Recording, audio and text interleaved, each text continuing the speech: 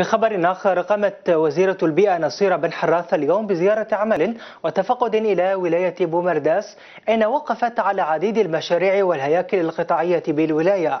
حيث انطلقت الزيارة الميدانية من دار البيئة حيث تم تكريم عمال النظافة على مجهوداتهم خاصة في هذا الظرف الحساس. لينتقل الوفد لمعاينة مركز الردم التقني ببلدية قرصو ثم إلى مشروع إنتاج الآجر العازل للحرارة ببلدية جلابين.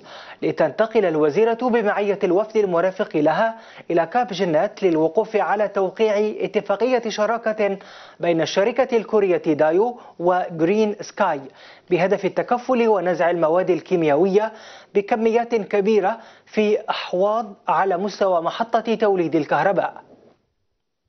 أول خطوة في هذه الزيارة كان علينا زرنا دار البيئة بولاية بومرداش وكرمنا عمال النظافة اللي هما جنود الخفاء اللي راهم يحافظوا على راهم يحافظوا على صحتنا ويحافظوا على على بيئتنا.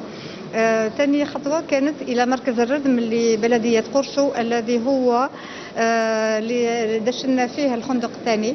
الخندق الأول تعمر الخندق الثاني اللي هو عنده آه كاباسيتي تاع مليون وخمسمائة ألف طن آه آه واللي عنده مدة حياة خمس سنين إلى ما فيه أكثر إلى حافظنا عليه آه في وهو يعني مركز أخضر يمشي بالطاقة اللي عنده مزود بالطاقة الشمسية. الثالثة كانت رحنا إلى مصنع إجر اللي صنع الأجر بطريقة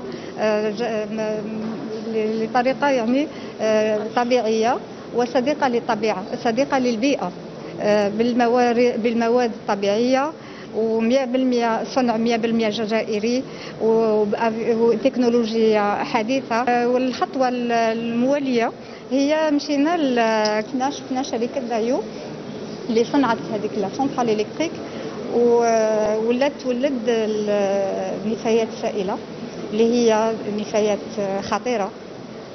ولو كانت في أحواض محمية بصح يعني إحنا ما نكونوش بعاد على الخطر